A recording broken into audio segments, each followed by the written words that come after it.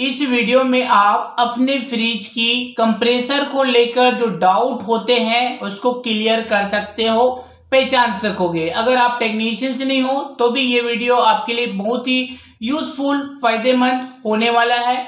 Video में cover करेंगे, fridge का कंप्रेसर गर्म हो रहा है, लेकिन फ्रिज ठंडा नहीं हो रहा। दूसरा पॉइंट कवर करेंगे, फ्रिज का कंप्रेसर में नया रिले भी लगा दिया, फिर भी कंप्रेसर बंद हो जाता है, ट्रिप हो जाता है। या फिर आपके फ्रिज का कंप्रेसर पाँच मिनट से भी कम समय में चालू होता है, जैसे स्विच ऑन करते हैं, चालू होता है, उसके बाद तुरंत ही वो ऑफ़ हो जाता है।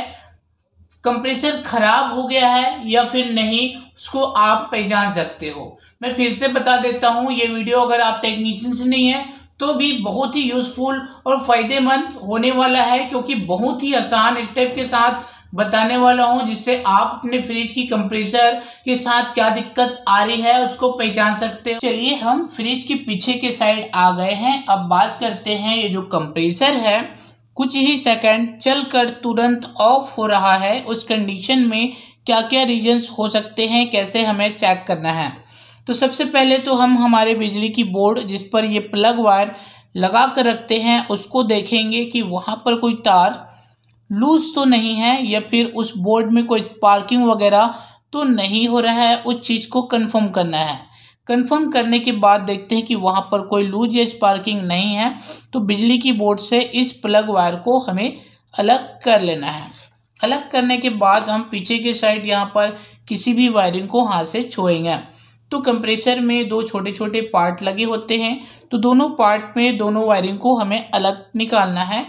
तो निकालने से पहले अगर आप फ़ोटो लेना चाहते हो तो ले लो, ताकि कोई कन्फ्यूज़न नहीं होगी। तो इसकी एक एक वायर इस तरीके से निकाल देता हूँ।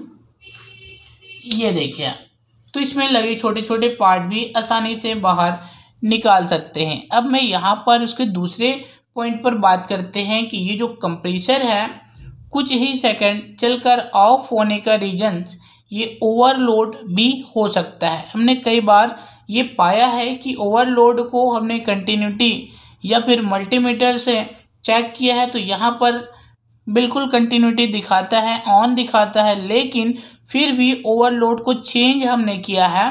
तो कंप्रेसर जो हमारा कुछ सेकंड चलकर ऑफ़ हो रहा था, वो फिर से बढ़िया चलने लगा था। यानी कि ओवरलोड जब हम कंटिन्यूटी या फिर मल्टीमीटर से चेक किया तो ये ठीक दिखाया उसके बावजूद भी वो प्रॉब्लम कई बार ओवरलोड कमज़ोर होने के कारण होता है। यानी कि कंप्रेसर को लोड को ठीक से नहीं ले पाने के कारण ओवरलोड कमज़ोर होने के कारण कुछ सेकंड चलकर कंप्रेसर ऑफ़ होता है।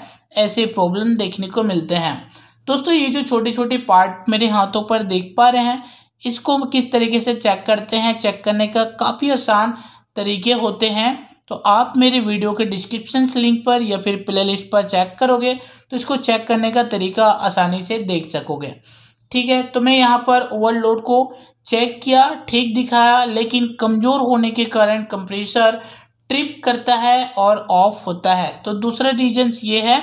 तीसरे रीजन्स में देखते हैं कि हमने रिले ओएल पी दोनों को बढ़िया चेक कर लिया है, बिल्कुल अच्छा है। फिर भी कंप्रेसर ट्रिप हो रहा है कुछ सेकंड चलने के बाद। यानी कि कंप्रेसर को जब हम मल्टीमीटर से चेक करते हैं तो कंप्रेसर हाई एम्पेयर दिखाता है।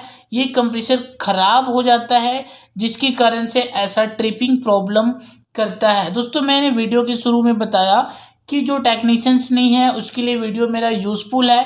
तो मैं मल्टीमीटर वगैरह से चेक नहीं कर रहा हूँ। मेरा एक्सपीरियंस बताता हूँ कि मैं इन दोनों पार्ट को अगर नया लाकर भी लगा दूँ तो इस कंप्रेसर के साथ जैसे ही बिजली की स्विच ऑन करता हूँ तो मेरे दोनों नए नए पार्ट में से, दोनों में से कोई भी एक पार्ट को तुरंत ही जो कंप्रेसर है पाक करेगा, ख़राब करेगा।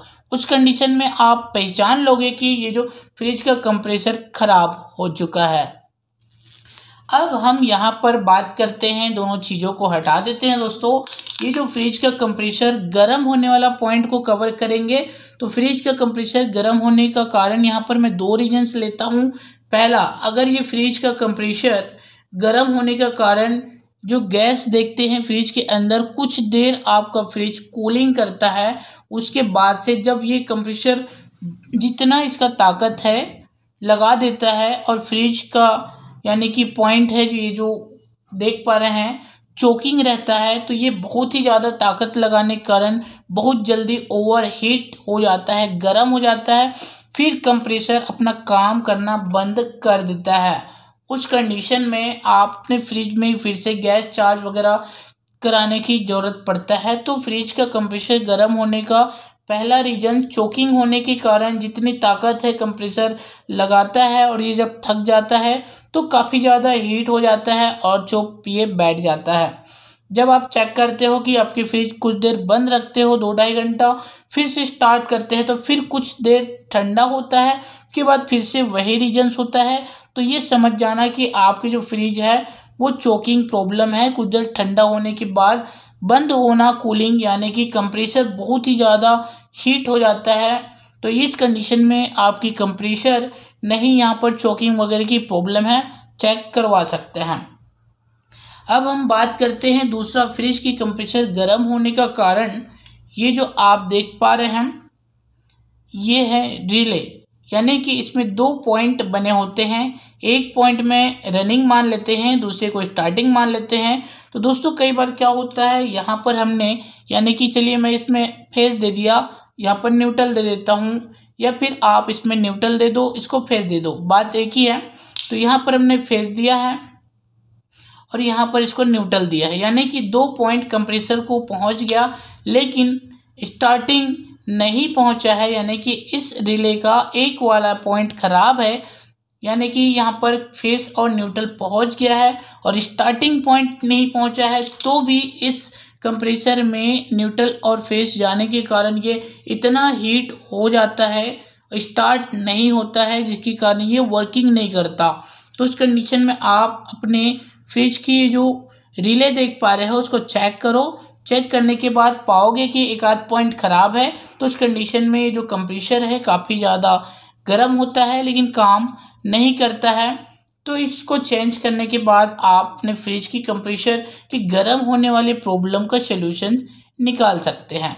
तो मैंने इस वीडियो में काफ़ी सिंपल जानकारी दिया है। दोनों पार्ट को चेक करो। दोनों पार्ट सही हैं तो कंप्रेसर ख़राब हो सकता है, काफ़ी सिंपल तरीके से। वीडियो में बताया है। तो इस तरीके से आप अगर एक टेक्नीशियंस नहीं हैं तो भी ये वीडियो आपके लिए काफ़ी यूज़फुल फ़ायदेमंद हो सकता है। वीडियो अच्छा लगता है तो लाइक शेयर कीजिएगा, फिर से लाएँगे नई जानकारी के साथ नई वीडियो।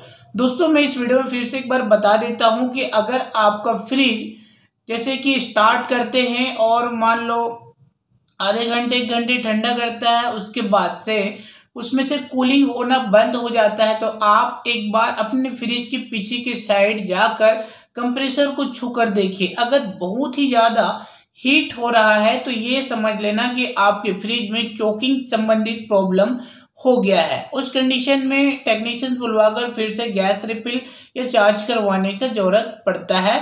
तो मैं ये दो तीन टॉपिक को कवर किया हूँ, जिसमें आप फ्रिज की रिले को परमानेंटली अच्छे से चेक करेंगे और नया लगाकर चेक करते हैं तो आपकी प्रॉब्लम ज़्यादा से ज़्यादा यहाँ पर सॉल्व हो जाते हैं। लेकिन जब चोकिंग की प्रॉब्लम होगा, तभी आपको मैकेनिक को बुलवाना पड़ेगा। तो वीडियो से जानकारी मिला तो लाइक शेयर कीजिएगा। फिर चलाएँगे नई वीडियो, नई जानकारी लेकर।